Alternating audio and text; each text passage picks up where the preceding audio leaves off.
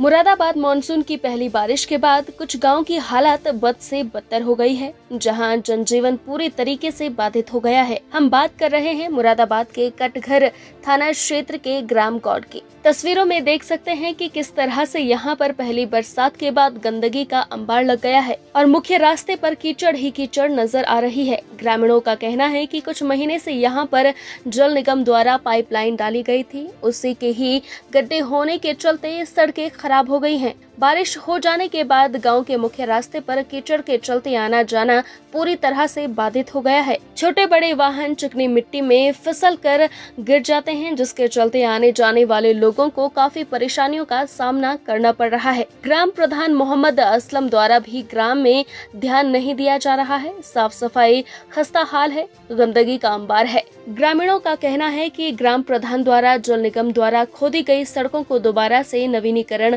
नहीं करा गया है जिसके चलते ग्रामीण परेशान हैं।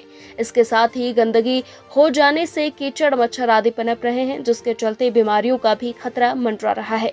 अब देखना ये होगा कि ग्राम गोट की हालत कब ठीक हो पाती है और ग्राम प्रधान लोगों की समस्याओं को कब दूर करते हैं ये तो वक्त ही बताएगा।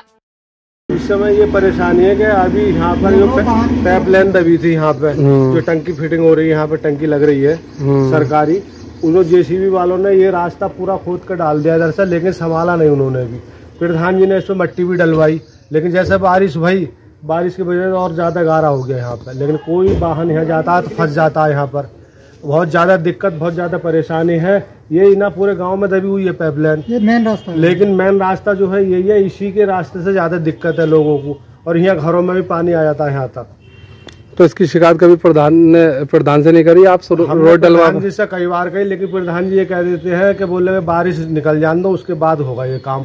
लेकिन प्रधान पूरी पूरी कोशिश भी कर रहा है ऐसी बात नहीं है इन्होंने आप क्या चाहते हैं? आप ये गाँव वालों को कई बार कह रखे यहाँ से हटा दो लेकिन गाँव वाले हटाते नहीं ले तो यहीं डाल जाते हैं ले तो यहीं डाल जाते हैं। प्रधान जी ने एक बार हटवा भी दिया था ये। ग्राम समाज है ना ये। परेशानी ये है जिस दिन से ये टंकी वाले जो खोद के गए टंकी लगा गए जब से ये गारे ही गारा तमाम। मेन रोड मेन रोड है गाँव का सबसे ज़्यादा मेन रास्ता यही है। सब जितने भी गाँव के सदस्य रहने वाले हैं सबको बहुत परेशानी पड़ रही है इस बरसात से गारे से। बीमारी फैलने का भी डर है। इसमें इतनी बीमारी है कि जो नालियों का गंदगी का पानी है वो सब पैरों से बच्चों के जा रहा है बच्चे स्कूल जा रहे हैं बच्चों को परेशानी हो रही है।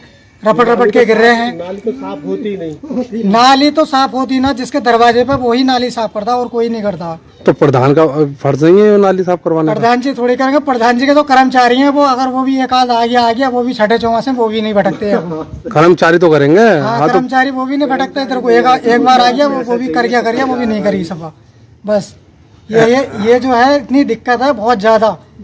क्या चाहते हैं आप लोग? हम ये चाहते हैं कि इसका जो है सुधार हो जाए।